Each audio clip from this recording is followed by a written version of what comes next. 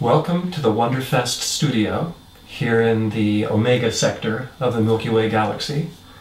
I am lucky today to be accompanied by Andy Fraknoi, the foremost public astronomer in the San Francisco Bay Area. Andy is the chair of the astronomy department at Foothill College, and he is also, among his many awards, the first recipient of Wonderfest's Carl Sagan Prize for Science Popularization. Welcome, Andy. Nice to be with you. Andy, I grew up learning that there were nine planets in the solar system. I've recently been told, however, that a certain diminutive outer planet named Pluto has gotten booted from the club. Can you help me understand why? Yes, this is one of the biggest public relations issues that astronomy has had to face. What have we mean and nasty astronomers done to Pluto? So I like to explain what actually happened, which is a more nuanced and complicated story than you often hear, by going back a little bit in history.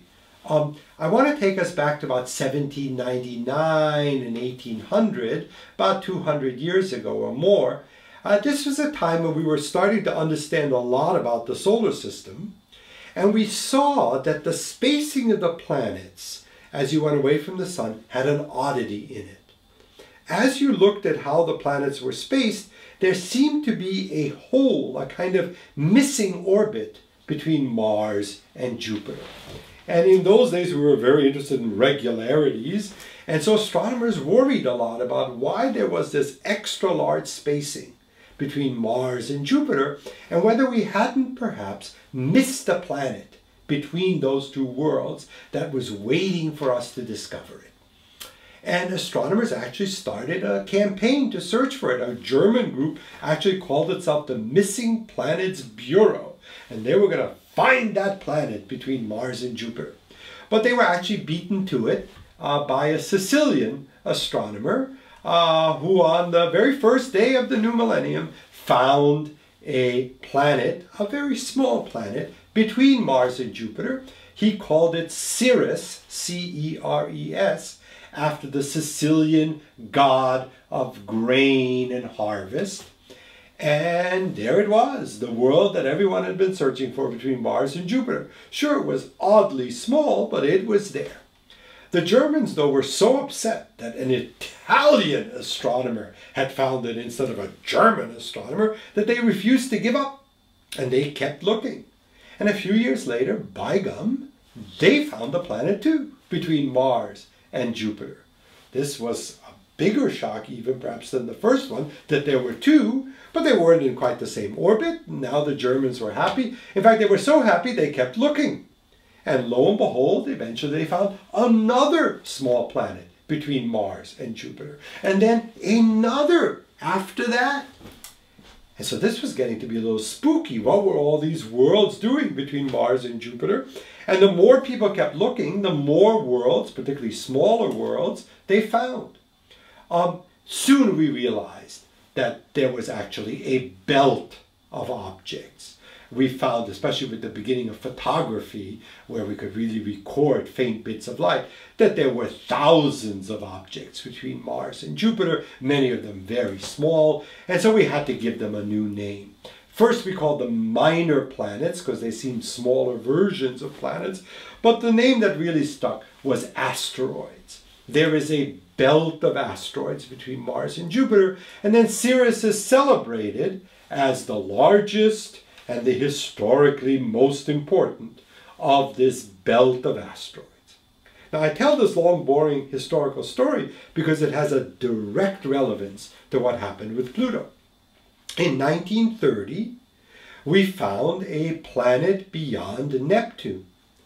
This planet was a little bit odd. It was different in quality and quantity from the other outer planets. It was smaller than Jupiter, Saturn, Uranus, and Neptune. Its orbit was a little different from the regular outer planets, but nevertheless, there it was, beyond Neptune, orbiting the sun. So we called it a planet, and eventually, at the suggestion of a British schoolgirl, we gave it the name Pluto.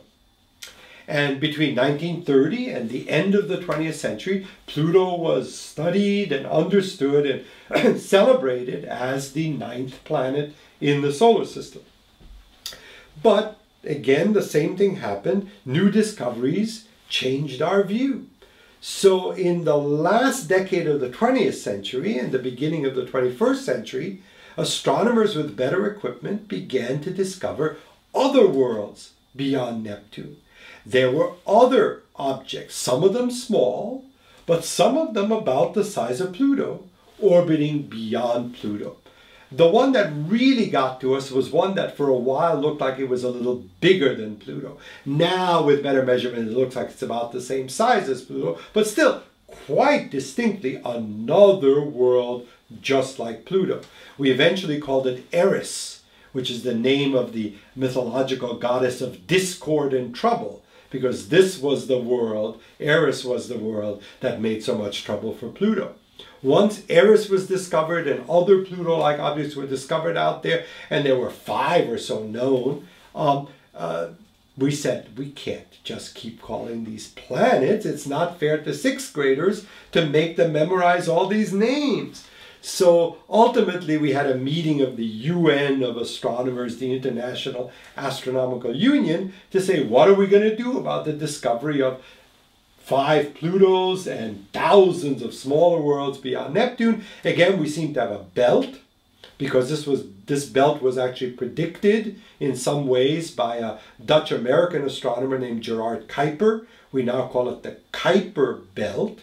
But if we had another belt beyond Neptune, just like we have a belt between Mars and Jupiter, we needed to find a new name for the little planets in that belt. And that's where we may have made uh, a public relations mistake. The term minor planet was already taken. So we said, well, what are we going to call them? And we decided on dwarf planet.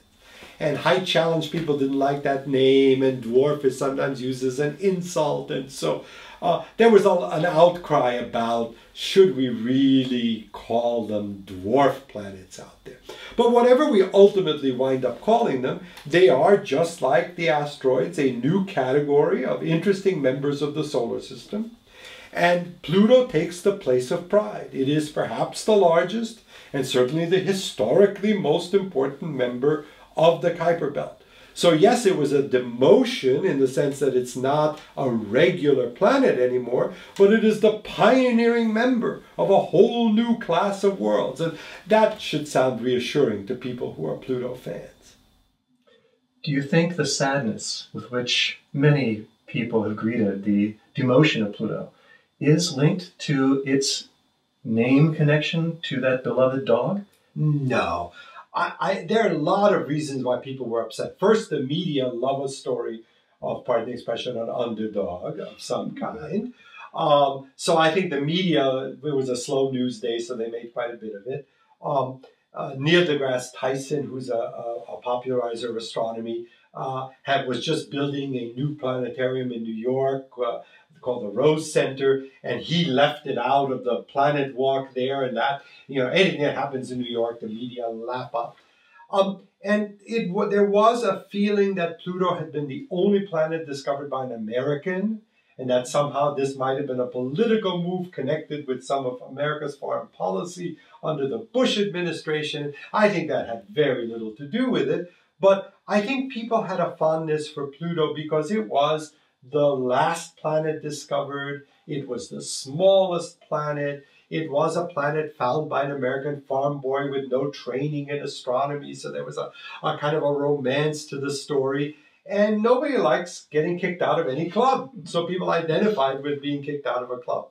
But I think once people understand, certainly in my classes, once students understand the full story, and they hear about the asteroid belt and they hear about the Kuiper belt, and they understand what astronomers did, they're much better able to come to terms with this great tragedy. You've helped me to come to terms with it too. Thank you, Andy. Good.